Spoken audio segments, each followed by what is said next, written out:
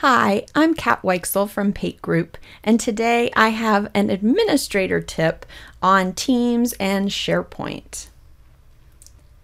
So, if you are a SharePoint administrator, you want to probably be able to see every single site collection that exists in your tenant. And unfortunately, that was not so easy to do if you were using Teams and private channels and you were going to the admin center to look for all of the SharePoint sites that you have. The admin center for the longest time only showed site collections that were kind of normal site collections in the SharePoint world. Um, the team sites, the communication sites, not those kind of special sites that are created just for private channels. So it was a little bit hard to get a sense of what was out there and get a comprehensive view of all the site collections that exist. They've changed that, uh, and I want to show you where you can find the information that you need. So if you come to the admin center for Microsoft 365, you'll want to then scroll down on the left and look at the other admin centers find the SharePoint Admin Center. And in here, go to the active sites. Now, you're probably very familiar with this as an administrator uh, coming in to see the various site collections and settings that you have. So, to get to those private channel sites, you can do this a couple different ways. Uh, from the main list of active sites, you can either first filter just to see those ones that are connected to Teams. So you could say filter by Teams, connected to Teams. And now that's all you're looking at are those Teams connected SharePoint sites. And from there, that should, you know, whittle down your list, although it really depends on your environment, just how many teams you have out there. And you can see channel sites uh, among that list. This one here is for our retail team. They have a private channel and therefore they have a channel site. Um, another way that you can do this is just to come to the channel sites column and just sort it larger to smaller so that you can see any of the channel sites that exist in your tenant. So again, we just have the one right now in this demo tenant.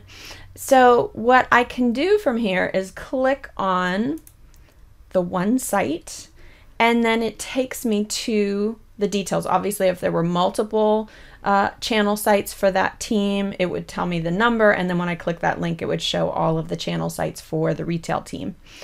It's just got the one, so I can see some basic details here. And then if I select this, I get more information on the right-hand side, telling me the general information about this particular site, uh, if there's any activity in it, the permissions and policies, basic information about the site collection.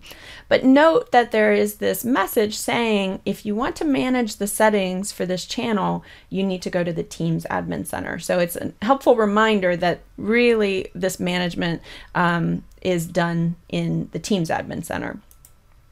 So this is at least how you can see a true comprehensive view of all your active sites, including those channel sites. This is something that Microsoft just recently rolled out, I think in 2022.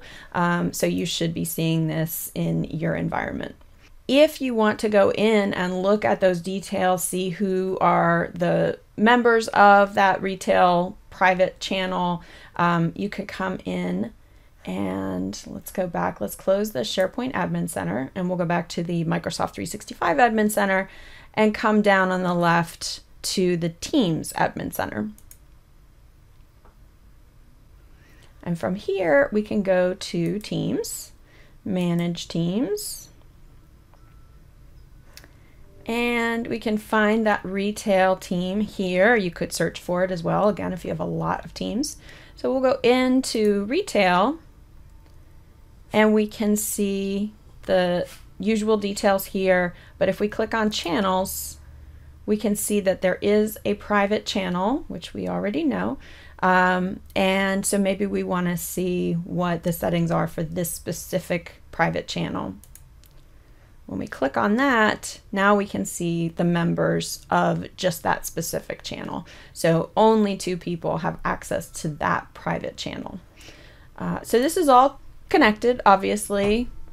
Teams creates a SharePoint site, and if you create private channels, there is a separate site collection in SharePoint for each of those channels, just as a secure way to manage the files for those private channels. And this is how you can come in and see all the details that you need and truly manage your sites in the SharePoint Admin Center and the Teams Admin Center. I hope this helps.